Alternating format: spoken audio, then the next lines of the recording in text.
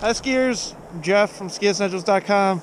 Uh, I'm here on a Tuesday morning at Stowe Mountain Resort um, skiing these new 2018, sorry, it's not, not 2018, 2019 Rossignol Experience 88 Ti. Uh, really exciting. We've had the same shape uh, in the Experience series for a long time now.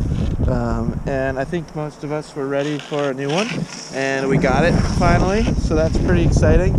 Um, slightly smaller turn radius, more rocker in the tip, uh, a lot more early taper in the tip. If you remember on the old ski, it had that extended side cut profile.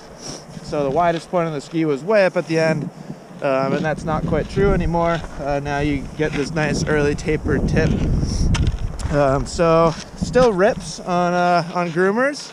Um, you know, the Experience 88's always been kind of a, a carving ski oriented all mountain ski. Um, definitely construction's a little different this year, um, and I think that that retains kind of the improvements in construction retains its performance on groomers. Um, maybe even a little bit more energetic, probably definitely a little bit quieter and damper.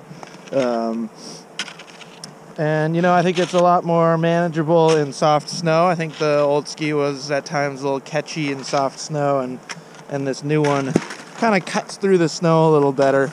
Um, so I'm gonna head into the office, and we will finish this review back back at the Ski Essentials warehouse.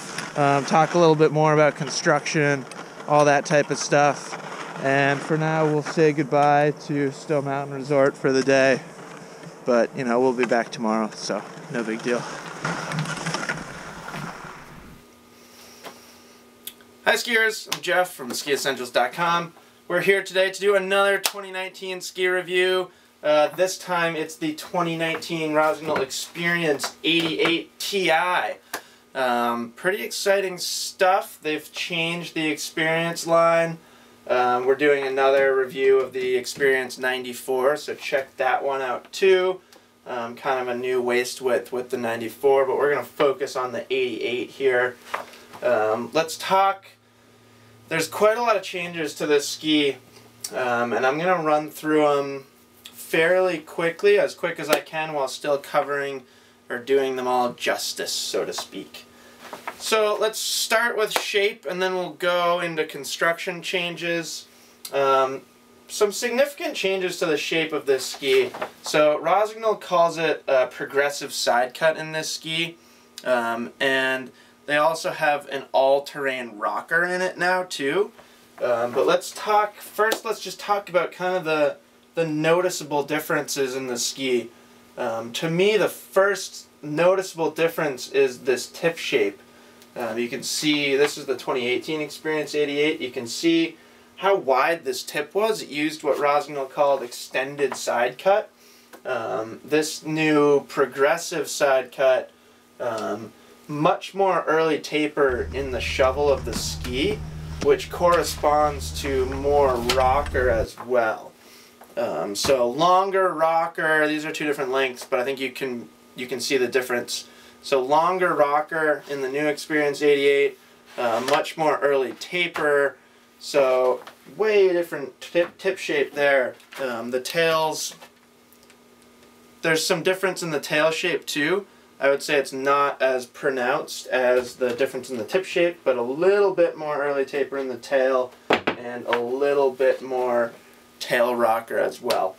Um, but that tip shape is way different.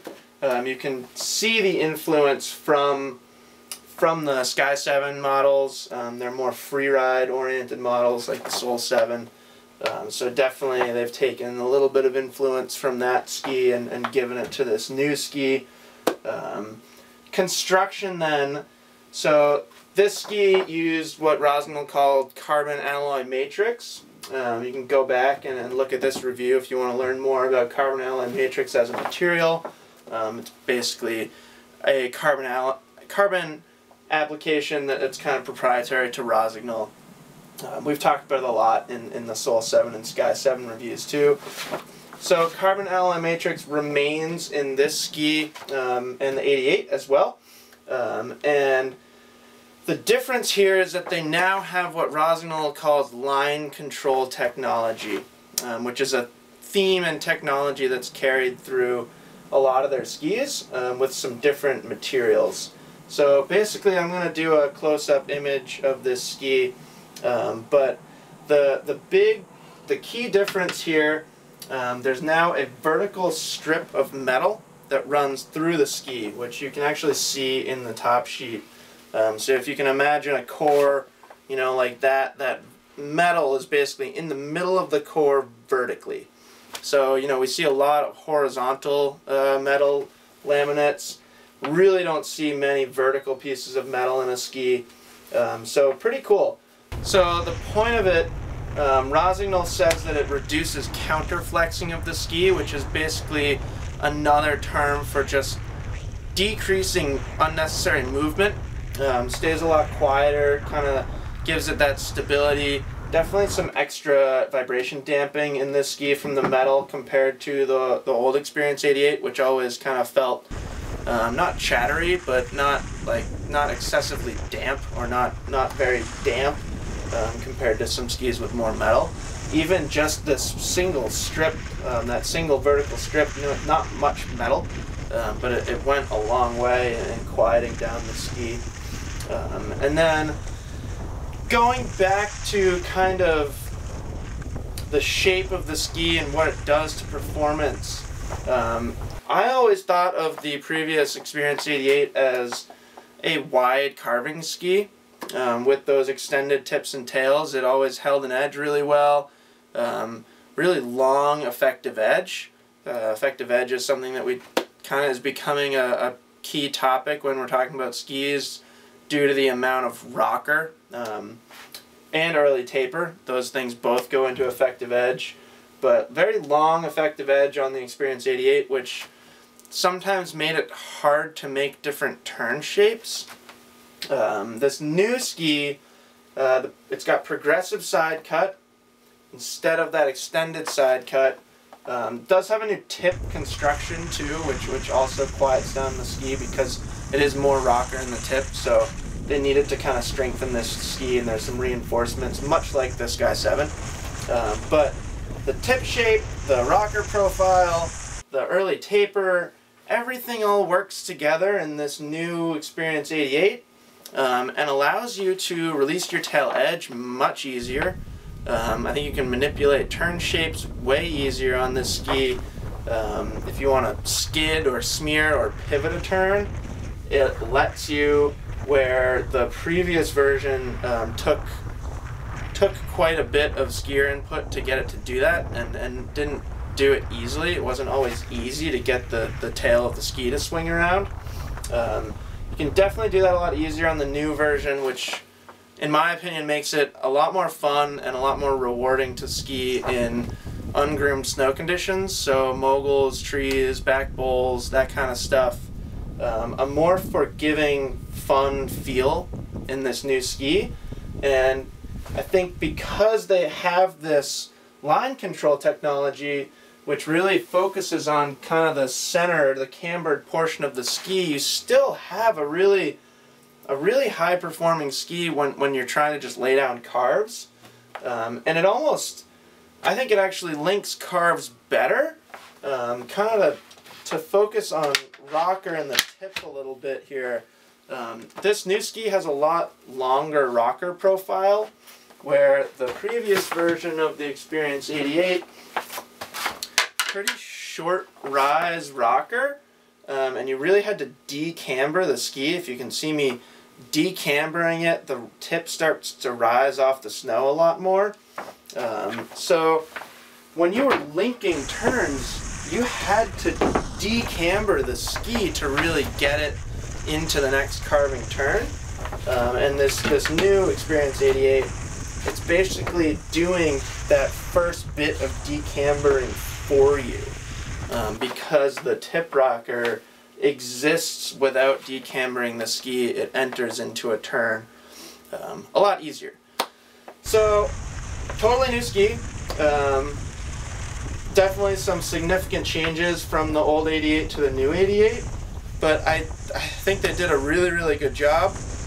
Um, I think pretty much anybody that skied an Experience 88 um, will prefer the new version, and in my opinion, the small percentage of skiers who might not, you could make the argument that that skier is probably better off on a carving ski, um, because if you're if you're basically spending all your time on groomed snow, you might not need the ability to release your tail edge, or maybe you really focus on linking carving turns, like GS style carving turns. Um, to that skier, I think there's more appropriate skis out there. There's there's carving specific skis. Even from Rossignol, there's some more carving specific models. Um, and I think that would be my response to down the road if anybody skis the new ski and, and doesn't like it as much as the old ski, they're probably really focusing on carving for their own their own skiing. Um, you can still absolutely carve on the, on the new Experience 88. Um, still really feels like a high performance carving ski when you want it to, um, but it's so much more versatile now. Um, I think a little bit easier to ski overall not that the Experience 88 was challenging really to ski, um, but smoother, turn initiation is smoother, a little quieter. Um, I think it, it inspires confidence a little bit more than the, the old Experience 88 because it's so easy to release the tail edge, or, or easier than the old version. Um, so, pretty cool. Um, I think it was time for a new Experience 88. I think they're they're really following the demands of skiers nicely. Um, the modern skier, most skiers these days want more a shape like this than the previous Experience 88 because of that versatility. Uh, you can do a lot more with one ski or, or do a lot more more easily with one ski um, compared to the, the previous version. Um, definitely, I, I brought the Sky 7 up here because I think um, there's definitely something to be said about how these new skis kind of blend the performance of the old experience and the, the freeride line, the Sky and the Sin 7, or Sky and, and Soul 7. It's been a few years since a Sin 7 existed. Um, but yeah, I think they did a really, really good job. Definitely way more versatile ski. Um, high performance feel still um, but they got away from kind of that extended side cut, um, which I think was a smart decision. I think uh, I think most skiers will really appreciate the the increased versatility in, in this new Experience 88. Um, so yeah, that's the Experience 88. Like I said, this is the 94. Uh, there's more skis within this line. Um, you may see us do some additional experience reviews. Many more of those skis will be included in our 2019 ski test. Um, that's happening in March, and the results of that will be released in the summer. So if you don't see a more in-depth review like this on the different experience skis, um, you will see a lot of results from the 2019 ski test. So it's going to be a lot of information there. Um, and in the meantime, we'll do our best to, to get on some, some other new Rossis and let you know what we think. Um, but pretty exciting, brand new Experience 88. Check them out if you haven't already. Um, we'll be skiing them a little bit more. There's a loon demo coming up, so if our opinions change or if we try them in new terrain and, and have something to add, we'll certainly let you know. Um, but thus far, we're pretty darn impressed by these new skis. So, thank you. We appreciate it, and we will see you guys on the slopes.